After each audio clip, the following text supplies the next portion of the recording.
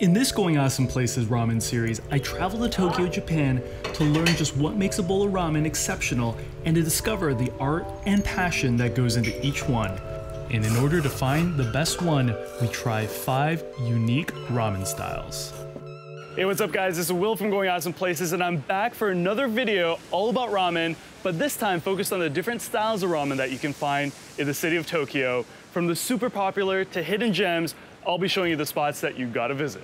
If you haven't watched yet, make sure you watch our feature on Michelin star and rated ramen restaurants. But if you're too lazy, well, I guess you're here already. I'm back with Hiroshi-san of Ramen Beast. We're gonna be crushing more bowls of ramen. Are you ready? Yeah, I'm ready. Why All right, let's do this. Yep, let's do it. We're in the neighborhood of Shinjuku, and behind me is Fuunji. So what is this one all about? This is really famous for tsukemen. Tsukemen. Yeah, do you know okay. tsukemen? I only know about it a bit, but what do I need to know about tsukemen? How, do, how does it work like and a- how's it different? The noodle and the soup is separated, Okay. and then people have to dip the noodle in the Yeah. soup and then slow. And so I heard that tsukemen is something that you have in the summer usually because it's like a cool noodle, yeah, right? Yeah, that's right. Okay. Yeah. Uh, but what makes this place so popular? Um, so using the chicken and gyokai like fish soup, so it's really smooth. Yeah, easy to crush. Okay, easy to crush. I like easy to crush. Let's go in. Yeah, let's do it.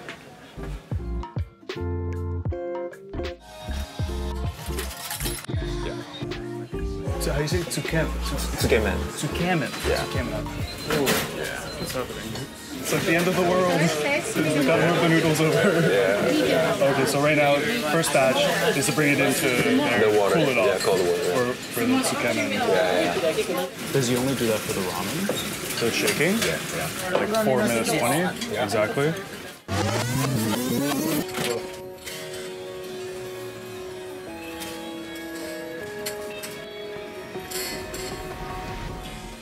The giant chopsticks too.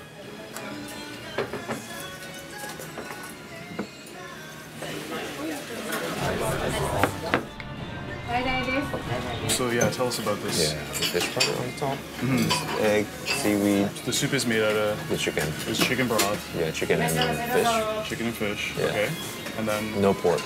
There's no No- pork in the soup. do they also put menma and Yeah. all that stuff? Yeah. All right, and and then then- chashu in the soup. Oh, there's chashu in there as well. Yeah. So do you like mix the powder in? Mm-hmm. Okay, so you mix the powder in. So just just dip it in Yep. and then and then eat And slurp. slip right away. It's actually really good. It's really nice crouch Yeah. and smooth. Yeah, yeah. It's nice and creamy as well. Yeah, right. Well, it's packed with stuff. You got the menma. Another egg perfection. Get it, get it. Get it all in. I didn't think I'd really like tsukemen, but okay. So this is dashi, Yep. which is just a very basic broth. Mm-hmm. Is it still the same chicken? And Oh no, I think it's different, different different. type. Just a little bit. Oh, so you don't need to dilute it too much. Mm. Uh, mix it. Now you've made it really spicy. Mm. Oh. Still very thick, but. Mm. Okay, so now that we finished our meal, how do we say thank you? Ah, uh, gochiso sama deshita. Okay, all right, let's do this. Gochiso sama deshita. all right.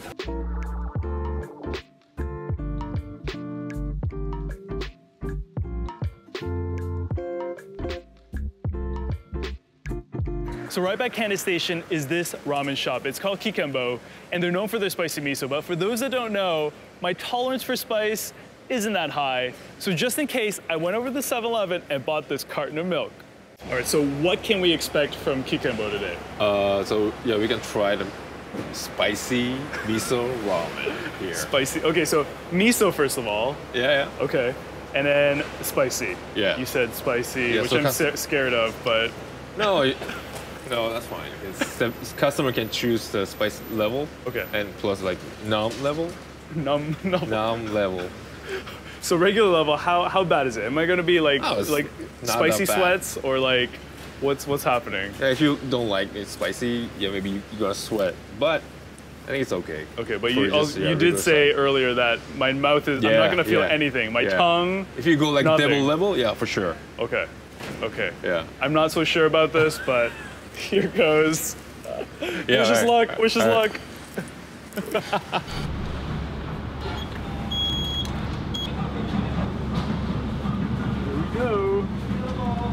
And once you enter in, the taiko drums start beating.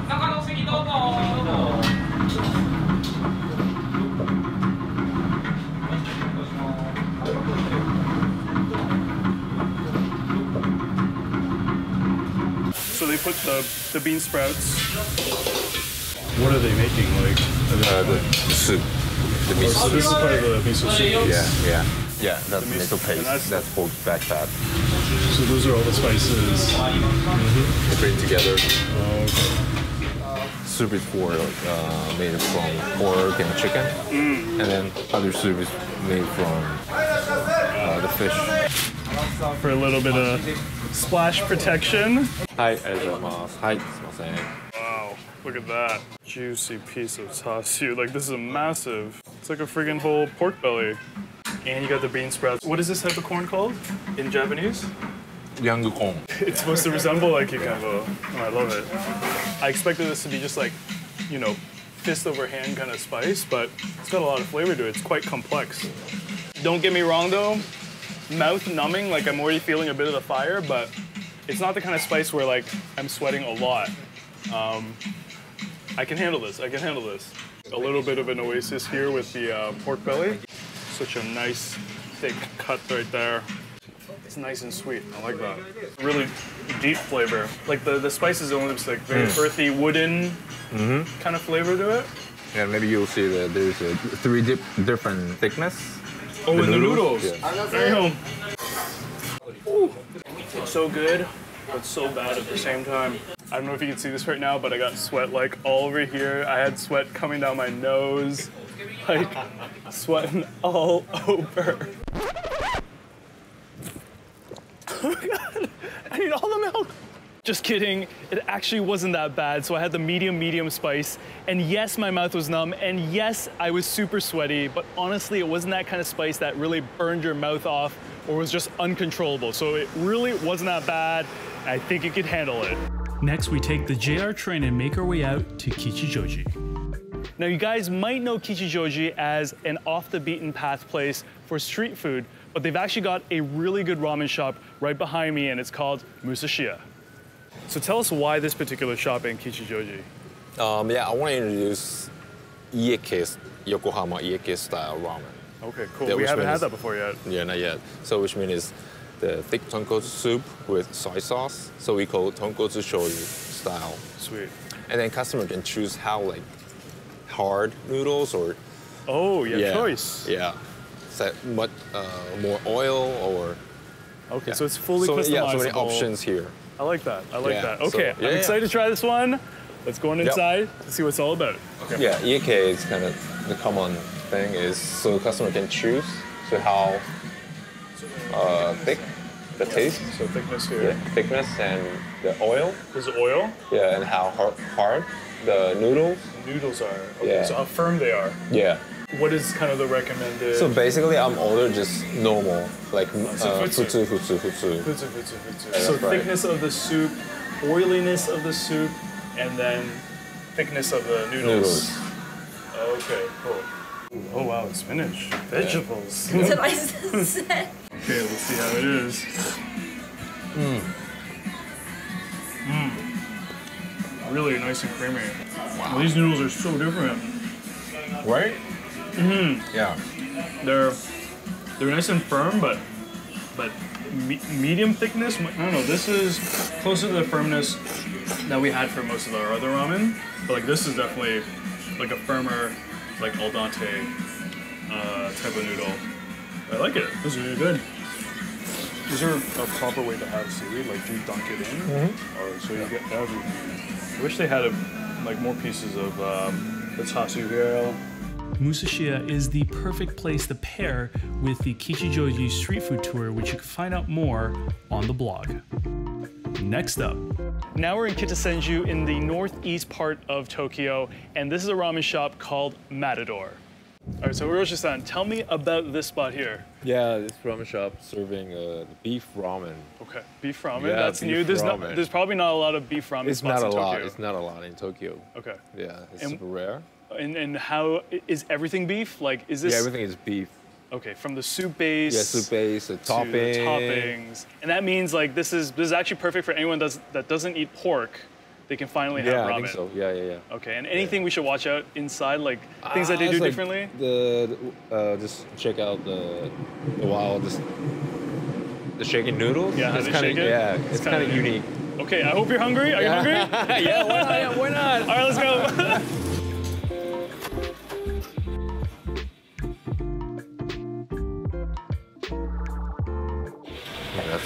roast beef. That's the roast beef. Yeah. Because they use beef, it's like um, it's a sweeter, t- sweeter taste to it. I feel like in Japanese cuisine, everything is almost like like a like an art form. He's like putting on a show almost. Yeah, yeah, that one is uh, the clear one. But it's a, it wouldn't be a Beef chicken oil. oil. It would be a beef oil. Yeah, I think it's beef oil. You'll notice that he actually puts the same soup in all of them, but it's the sauces. It's different. That's what's different.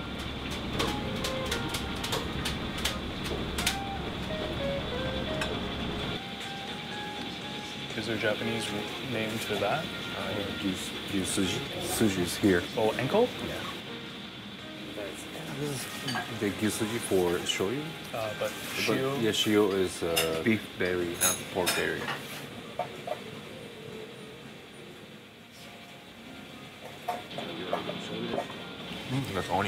Oh, that's onion. You're right.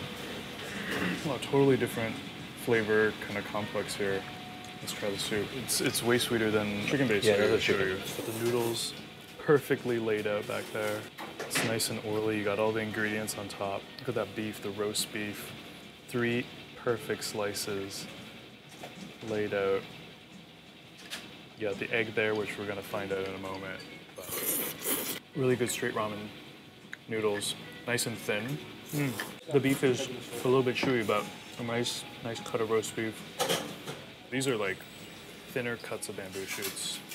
A nice balance to the kind of chewier roast beef. And then on top, I'm gonna show you this. Look at that. Like really sweet, like a, a totally different sauce. Kind of like a like a brisket.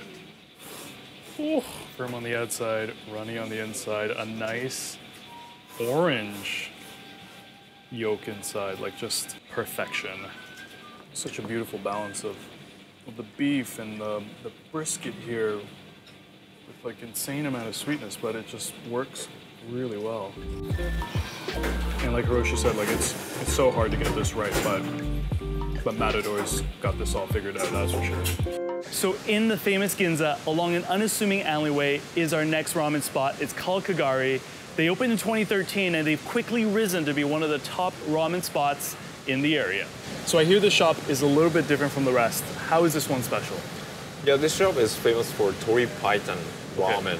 Haven't had that before, right? Yeah, not yet. There's a chicken, the cloudy soup. Okay, and what does it look like? How does it look different than the others? Uh, so uh, you can't see the bottom. It's really cloudy. Yeah. The, the smooth like chicken soup. And how does this one compare? Like, if you look at Tori Paitan, like, where does this one rank? Yeah, that's kind of tough, but I think it's really high ranked shop for sure. Okay, so we're gonna be having like really Yeah, good Tori yeah, Paitan. Okay, right, that's right. I'm ready for that. Yeah. Let's go line up. Yeah, let's do it. What's interesting is that their Ginza location actually shut down for a bit, and so this is their brand new shop in Ginza. I got those. It's very colorful. Mhm. Feels very grounded, especially with all the, the different vegetables. This is ginger. Uh, this is fried onion. So maybe after you eat uh, half of the noodles, you can put like ginger or you can put the fried onion. Wow. that's really strong, like um, chicken soup. Like super creamy. Yeah. Yeah, we call this tori chashu. Tori chashu. Tori chashu. Let's try this chicken chashu. It's actually a very gentle, yeah. like it's not not over seasoned or marinated at all. But I think because you have so much flavor already in the soup, you don't need that much flavor in the chicken. And then do you like mix it in? Yeah. Ooh, the Tori Paitan was so good and really so hard to pick which one was the best ramen shop out of all these five. But what you should do next is head over to the blog and read the full blog post, which has all the information that you need. So those are some next level ramen spots that we went to and hopefully shows you that a bowl of ramen isn't just a bowl of ramen.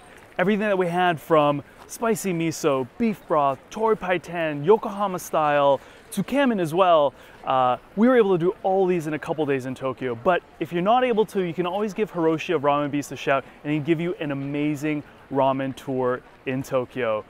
Anyways, this is Will from Going Awesome Places. That's it from me from Tokyo. I hope you had a slurping good time watching. You know what to do. I'll see you guys next time on the channel. Peace.